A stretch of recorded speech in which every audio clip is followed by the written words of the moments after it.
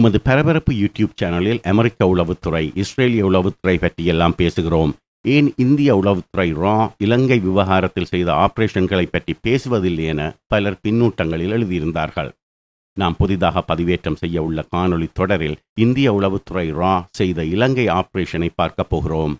ஆயிரத்தி தொள்ளாயிரத்தி எண்பத்தி மூன்றாம் ஆண்டு முதல் இலங்கையில் யுத்தம் முடிந்த இரண்டாயிரத்தி ஒன்பதாம் ஆண்டு வரை பல சந்தர்ப்பங்களில் இந்திய மத்திய உளவுத்துறை ரா இலங்கை விவகாரத்தில் புகுந்து விளையாடியிருக்கிறது. இவற்றில் எதை தொடுவது எதை விடுவது?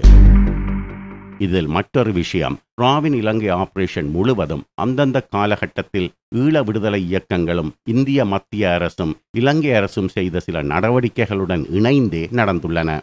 இதனால் ரா என்ன செய்தது என்பதை சொல்ல வேண்டுமானால் அதன் பின்னணியில் நடந்த மற்ற விஷயங்களையும் சொல்ல வேண்டியிருக்கும். இதனால் காணொளி தொடரில் முற்று முழுதாக உளவுத்துறை விஷயங்கள்தான் வருமென்றில்லை. உளவுத்துறை ரா இந்திய இராணுவம் டெல்லி ராஜதந்திரம் என்று பல விஷயங்கள் இணைந்து வரும். ஆனால் சுவாரஸ்யம் உத்தரவாதம். சரி இலங்கை விவகாரத்தில் இந்தியா எப்போது தீவிரமாக தலையிடத் தொடங்கியது என்று கேட்டால் இந்திரா காந்தியின் காலத்தில் என்பீர்கள். அது உண்மைதான். இலங்கை விவகாரத்தில் இந்தியா ஏன் தலையிட்டது? எப்படி தலையிடத் தொடங்கியதென்று தெரியுமா? இந்த கேள்விகளுக்கு எமது புதிய காணொலி தொடர் பதில் தரும். எமது காணொளி தொடர் ஆயிரத்தி தொள்ளாயிரத்தி எண்பத்தி மூன்றாம் ஆண்டு இலங்கையின் கொழும்பு நகரில் ஆரம்பமாகப் போகிறது. அந்த ஆண்டுதான் இலங்கையில் தமிழர்களுக்கு எதிரான இனக்கலவரம் நடைபெற்றது. அதன் தொடர்ச்சியாகவே ஈழ விடுதலை இயக்கங்களின் வளர்ச்சியும் முப்பது ஆண்டுகளுக்கு மேல் நீண்டு கொண்டே போன ஈழப்போரும் நடந்தன. ஆயிரத்தி தொள்ளாயிரத்தி எண்பத்தி மூன்றாம் ஆண்டு இலங்கையில் ஒரு இனக்கலவரம் திட்டமிடப்படுகிறது என்ற விஷயம் இந்திய உளவுத்துறை ராவுக்கு முன்கூட்டியே தெரியும் என்பது எத்தனை பேருக்கு தெரியும்? அந்த நாட்களில் கொழும்பு நகரில் இந்திய உளவுத்துறை ராவின் தலைமை உளவாளியாக செயற்பட்டவரின் பெயர் திலக். கொழும்பில் உள்ள இந்திய தூதரகத்தில் அவரை திலக் ஜி என்று அழைப்பார்கள். இந்த திலக் தான் கொழும்புவில் தமக்கு கிடைத்த ரகசிய தகவலை முதலில் புதுடெல்லி வரை கொண்டு சென்றவர்.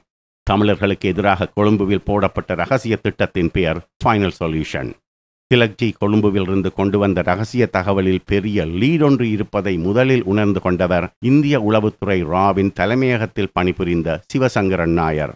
அவர் மூலமாகவே இந்த விவகாரம் அப்போதைய இந்திய பிரதமர் இந்திரா காந்தியின் காதுகளுக்கு சென்றது.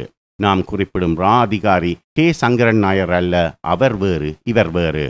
அதன் பின்னரே எல்லாமே ஆரம்பமாகின. அந்த விவரங்களை எல்லாம் எமது புதிய காணொளி தொடரில் நீங்கள் பார்க்கலாம். ஆரம்பத்தில் டில்லி அதிகாரிகளுக்கு இலங்கை யாழ்ப்பாணத்தில் என்ன நடக்கிறது என்பதில் தெளிவு இருக்கவில்லை. யாழ்ப்பாணத்தில் ஒரு இளைஞர்கள் குழு இராணுவத்துக்கு எதிரான தாக்குதல்களுக்கு திட்டமிடுகிறார்கள் என்ற தகவல் மட்டுமே டெல்லியிடம் இருந்தது. மேலதிக விவரங்களை கேட்க உளவுத்துறை ராவின் சென்னை அலுவலக அதிகாரி ஒருவரை டெல்லியில் பிரதமர் அலுவலகத்திலிருந்து அழைத்தார்கள். சென்னையிலிருந்து சென்ற ரா அதிகாரியை குரு என்று அழைப்பார்கள். குரு என்பது அவரது பெயரின் ஒரு பகுதி. பிரதமர் அலுவலகம் சென்ற குரு தாம் சந்திக்கப் போவது அநேகமாக பிரதமரின் உதவியாளராக இருக்கலாம் என நினைத்து கொண்டுதான் அங்கு சென்றார். ஆச்சரியகரமாக பிரதமர் இந்திரா காந்தியே அவரை நேரில் சந்தித்தார். யாழ்ப்பாணத்தில் இயங்கிய இளைஞர் குழு பற்றி சென்னை ரா அதிகாரி குருவிடம் கேட்கப்பட்டது. அப்படி கேட்கப்பட்ட அந்த யாழ்ப்பாண இளைஞர் குழுதான் பின்னாட்களில் அனைவராலும் அறியப்பட்ட தமிழீழ விடுதலை புலிகள். ஆனால் ராவின் சென்னை அலுவலகத்திலேயே அந்த நாட்களில் யாருக்கும் விடுதலை புலிகளுடன் தொடர்புகள் இருக்கவில்லை. நீங்கள் குறிப்பிடும் யாழ்ப்பாண இளைஞர்களுடன் தமிழகத்தில் இயங்கும் அமைப்பு ஒன்றிலுள்ள சில தனிப்பட்ட ஆட்களுக்கு தொடர்புகள் இருக்கலாம் என்றார் குரு. அவர் குறிப்பிட்ட இயக்கம்தான் திராவிடர் கழகம். அதன் பின் இந்திய திட்டங்கள் எப்படி தயாராகின என்பதை எமது புதிய காணொளி தொடரில் பார்க்கலாம். இந்த விவகாரத்தில் உள்ள மற்றொரு சுவாரஸ்யமான விஷயம். இலங்கை மீது போர் தொடுக்க இந்திய இராணுவத்திடம் ஒரு போர் திட்டம் தயாராக இருந்தது. இந்திரா காந்தியின் உத்தரவுப்படி படையெடுப்பை நடத்த முன்னேற்பாடுகளும் முடிந்துவிட்டன. எல்லாமே தயார் நிலையில் இருந்தன.